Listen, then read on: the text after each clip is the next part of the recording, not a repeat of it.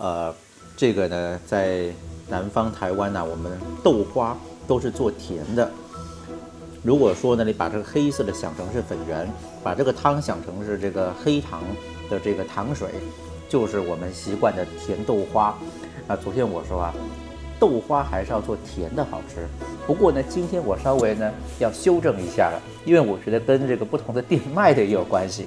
因为今天呢，我们吃的这家感觉比较地道。我刚刚吃了几口，这个咸的豆腐脑啊，咸的豆花，这下好吃多了。嗯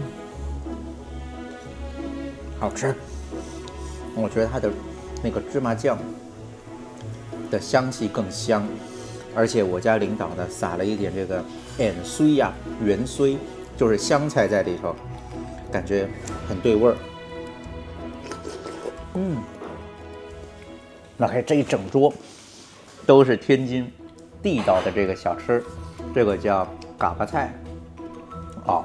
我觉得这个也比我昨天吃到好吃，然后另外这个我现在还没吃，但是一眼看上去觉得很棒，啊，这个就是煎饼果子对吧？啊，这个果子其实就是油条嘛，但是刚刚老板问我们说要吃脆的还是不脆的，所以所以还有分啊薄脆，啊就是说要吃怎样的口感，啊这个叫薄脆，薄脆是什么意思啊？薄脆就是就是这个油条是比较脆的意思吗？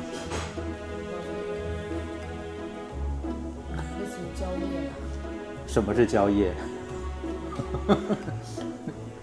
薄脆要怎么说？为什么叫薄脆？因为它有薄脆。好，这领导解释的有点感觉不太地道。这个薄脆是说外面这一层薄吗？里面脆吗？对对。啊，对呀，就是外面这一层薄，里面脆叫薄脆。对。那那有的不脆吧，也可以。有的人不喜欢吃脆的，这样。对对。哦，对嘛，我就说，他就有的人喜欢的口感不要那么脆，有的人喜欢这个果子脆一点嘛，就这个意思。像我就是喜欢吃比较脆的啊，所以，我们这外面这层是面皮跟那个蛋嘛，对不对？葱蛋跟面皮。绿豆面。绿豆面啊，绿豆面煎出来的。台湾一般呢比较习惯吃的是烧饼油条，是用烧饼夹这个油条，但是呢这儿的煎饼果子是习惯用这个这一层煎饼去包这个果子。啊，所以不大一样，我还没吃过，待会儿吃吃看。我们常常在台湾看到那个小摊贩上面写天津手抓饼，其实天津没有那种台湾习惯的那种蛋饼、葱抓饼，天津吃的是这个煎饼果子啊，夹果子，果子就是类似油条，我们台湾习惯吃烧饼油条，但是这个绿豆面煎成的煎饼，试试看。我整个把它咬下去了，好大！嗯，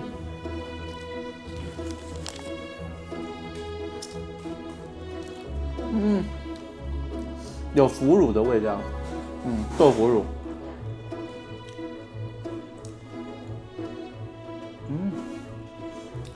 嗯，感觉好吃是好吃，就是薄薄脆脆。然后多那个腐乳有点冲，嗯，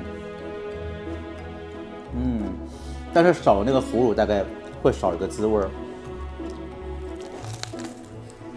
嗯，嗯，蛮特别的。你看这蛋，蛋是跟绿豆面煎成的这个煎饼，去夹这个脆脆的果子，嗯嗯，里面还有点辣，很特别吧？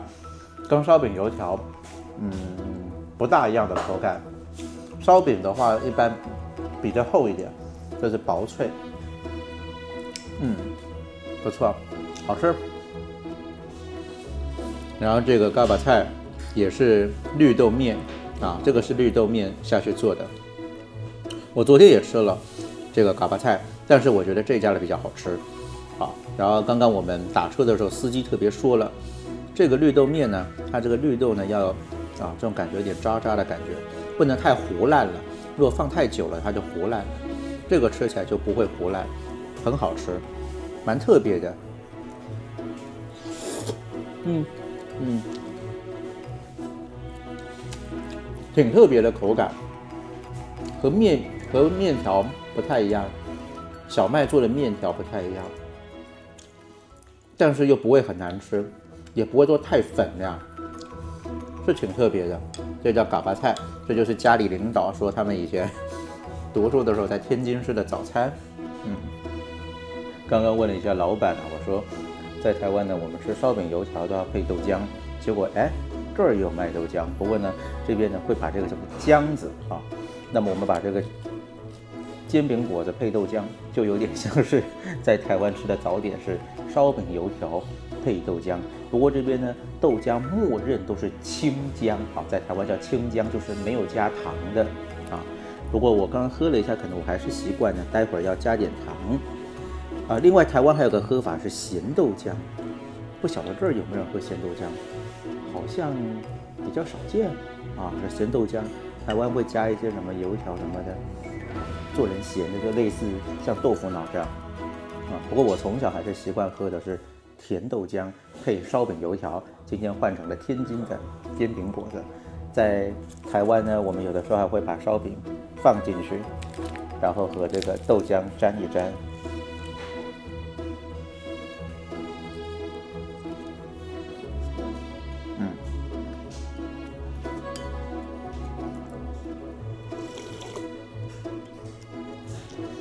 瞬间暖和起来。